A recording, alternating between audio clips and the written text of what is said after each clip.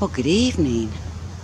I wasn't sure I'd be able to get anything tonight, but uh, I'm not going to be able to get the trio from my location of Mercury, the Moon, and Saturn, but Mercury should be below the uh, Moon, and Saturn should be about to the 11 o'clock position. But let me double check on the position of uh, Saturn. Okay, I was wrong. Uh, Saturn would be about the uh, 7 o'clock position, so it's uh, down below the moon. So there's no way I'll be able to catch uh, either Mercury or Saturn. Not with the houses and the trees in my way. And it's not dark yet, so. But this is all I've got. About a 5% moon here. Over in the southwest real low in the sky, probably about uh, 15 degrees up. Well, I hope others have been able to get uh, better viewing than I have, but keep an eye out for fireballs, and there's been a lot of meteors incoming recently. We must be going through a lot of uh, debris fields and from one comet after another, and who knows what else. Sometimes I don't think they're just uh, debris trails of uh, past comets, but that's just my opinion. Doesn't hold water, but but keep an eye out for them. There's been a lot throughout the uh, entire world. There was an incredible one up in the Arctic uh, a few days ago. Man, it lit up the sky, all the snow too. and uh, there's been a lot in the in the Americas, over in Europe. I'm not sure about uh, down down below, down in New Zealand and Australia and stuff like that. I haven't seen a whole bunch from there, but yeah, keep an eye out. A lot of booms, a lot of lights, a lot of stuff going on up there. And there was that one incredible asteroid that stunned the scientists.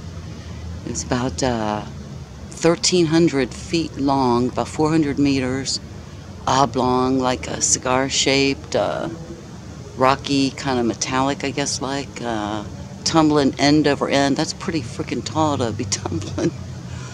As it uh, came into our solar system and sped out. I don't know, man.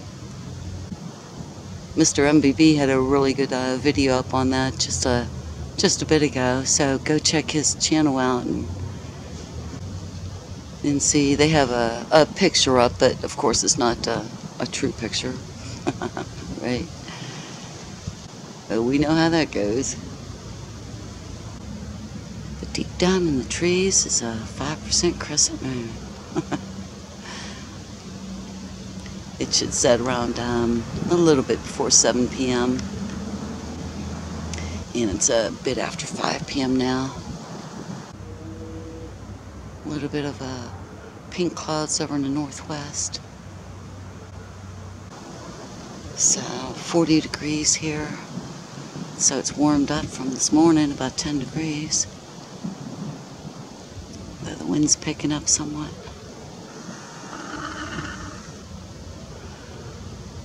I can't get much of a bead on it because of those uh, tree branches, but at least the leaves are gone so I could get it all if the, uh,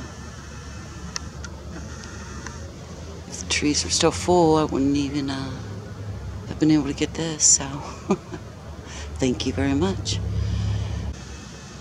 Let me see what the uh, criminals are doing here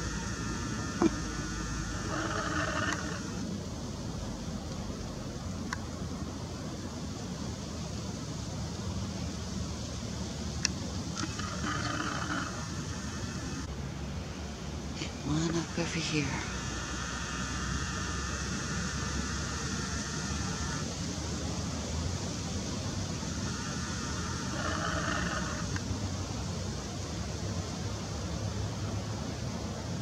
Hmm.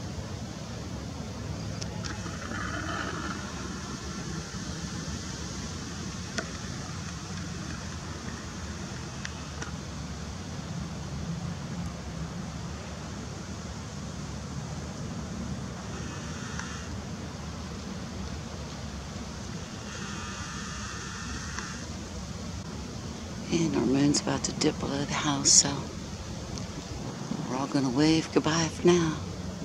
Hope to see you again before the holidays, so. But if not, a safe and wonderful day to you. The whole week. Hell, the whole year. Alrighty, take care now. Bye.